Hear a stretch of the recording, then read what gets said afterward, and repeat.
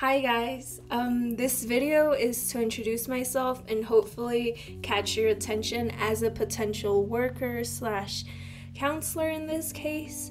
And so starting off with my name, I am Brenda Sanchez Vazquez, but you can call me Brenda or Bren, um, whichever you feel comfortable. And while I am 21 years old. I'm gonna turn 22 in March 5th. It's pretty exciting. And so I'm currently majoring as a software engineer. It's my third year in college, and it's been pretty stressful, pretty exciting, I must say. And so the skills that I think um, are valuable to towards any camp and that I can bring onto the table. One of the biggest ones would be leadership skills, um, and that's because the college that I'm currently at has as a mission to create currents of thought and train leaders who transform society in the search for truth, integrity, faith, science, and life. And so that's a pretty that's a pretty big mission. I, I had to read it because wow. Um, with that being said, you can honestly see this being implemented in any of the classes, you see teachers kind of have different strategies to help you develop those leadership skills, be it patience, empathy, communication, teamwork, having problem solving skills, being creative, and much more. And so I feel like I can bring those to the table just due to my experience with it. Um, and also, it's one of the roles that I chose as a leadership, but I also chose two others, which would be IT and roller skating.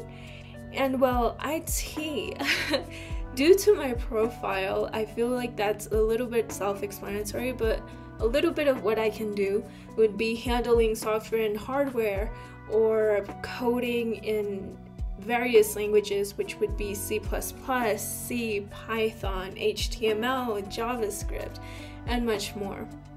Besides those technical skills, I feel like I can bring onto the table some other soft skills, which I think are soft skills, which would be adaptability, problem solving, and creativity, which comes hand in hand, like each and every one of them.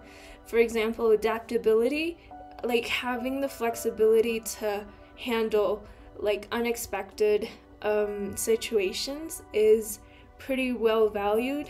Also, with problem solving, not just bes- besides the flexibility, being creative and thinking outside of the box helps a lot with problem solving.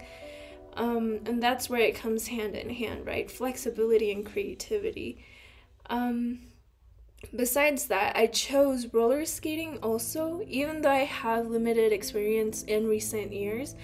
In my childhood and teenage years, I used to skate and, well, roller skate and rollerblade a lot, so I feel I have the confidence enough to transmit my knowledge and tips and advice towards the kids. Um, and so the next section, my experience with kids, I will say it isn't as profound. It isn't as much as I would like to, at least in a um, professional environment, just because I love kids and I wish to have kids of my own in like the future when I'm more stable. But as I comment, I do not have as much experience as I would like. The only experience um, I've had would be because I'm Mexican and I have a lot of cousins. Those cousins now have kids and usually I'm the one that kind of takes care of them, kind of interacts more with them. And so I have that like or I see myself as that lovable person that they can go to and know that they're still responsible enough to take care of them. Um and so yeah, that that's on, that's the only exposure I've had with kids besides my little brother that I have right now. He just turned almost 2 months he anyways um and why would i like to join into a camp as you well know my agency has a mission to expand uh, intercultural perspectives through a work environment and i think that's a pretty neat idea to have the opportunity to work and meet new people meet new places um, that's a good experience. I feel like anyone could have a wonderful experience actually, and so hopefully the campus act uh, it takes interest in me, and so that's it. Hopefully you have a wonderful day. Take care.